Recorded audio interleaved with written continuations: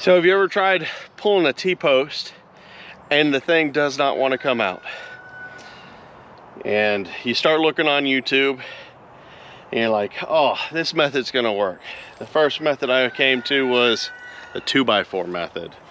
And the problem I had, if you can see right there, the wood is just too soft, especially at the depth that these are buried. So I tried another method, 2x4 with a piece of metal. Still didn't work. And then I tried this contraption from Amazon. I couldn't get that to work either. So we resorted to using the bucket and our new hook that we installed. Hey, welcome to the Smith Farm Co-op. I'm Michael. Today we're gonna pull a couple uh, T-posts that I had installed for a garden uh, with our new tractor and hook that we just installed. Uh, let's go see if we can uh, pull these a little easier than uh, some of the methods I've seen online with like a 2x4, which I had no luck because I guess my 2x4 was too rotten, or my ground is too hard. I don't know. Let's go pull it up with the tractor.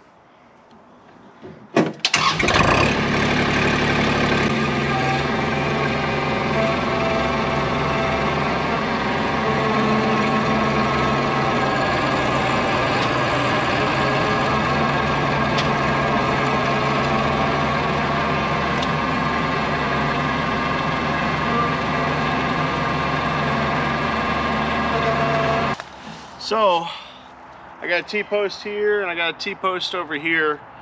Actually, I got three of them uh, in this area that I need to get done before I fence in the rest of uh, the goat pen area. Picked up this little tool for pulling T-post uh, off of Amazon. And we're gonna use a chain and our new hook that we installed to get this uh, T-post out of the ground real quick. Let's, uh, let's get it going. So we're gonna use our chain, the new bucket uh, hook that we installed to get this guy out. Let's see how it works. And if the uh, hook holds.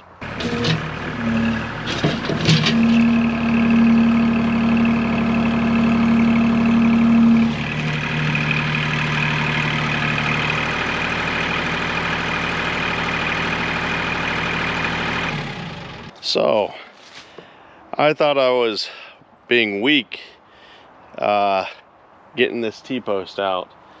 Um, not being able to do some of the tricks that you see online with like a 2x4 or anything like that. I was literally picking the back end of the tractor up, trying to get this T-post out of the ground.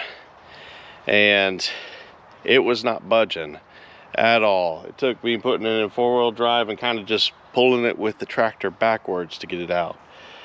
So some of the tricks online work great. Some of them don't. So we'll uh, give the next T-post a try with one of those little tricks with the 2x4 and see if uh, we can get it to work. How about that? So some of some of the YouTube tutorials I've seen on removal of these guys can be done with a 2x4. Um, this side is just a plain 2x4. This, I just put a little piece of metal on there so that the teeth of this T-post uh, won't dig in so deeply. I'll try it with the regular side.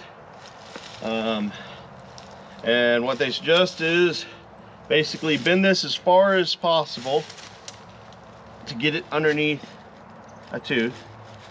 Okay, so it's there. And then they say, rock it back and forth. Well, the problem with that, I think this is down probably 16 inches. It just busts straight through the 2x4. So, my other attempt was to put a piece of metal on it to protect it, see if I could get it to work.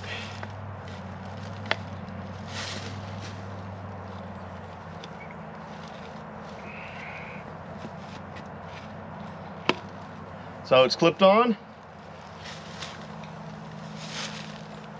It is not budging at all.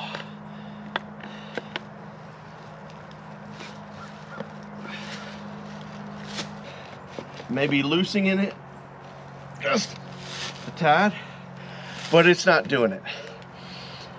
So when it comes to T-post removal, if it is past the little angled flares, um, it's probably not going to come out this method. And you'll have to get something like this from Amazon or a tractor supply store, an agri agricultural store. And basically it goes on there and you lift it up with like a high lift jack. Um, so that is an option. It's not a great option. Um, so I'm going to continue doing it with the tractor bucket. Uh, having tried this for about 45 minutes on about six other posts last week and it did not work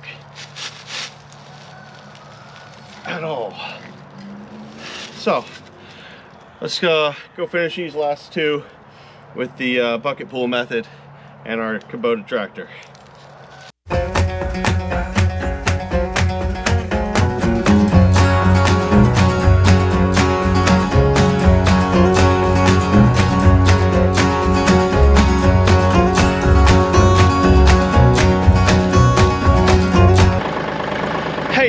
Like these videos dealing with repairing and operating uh, a tractor and farm equipment, don't forget to hit the like and subscribe in the button.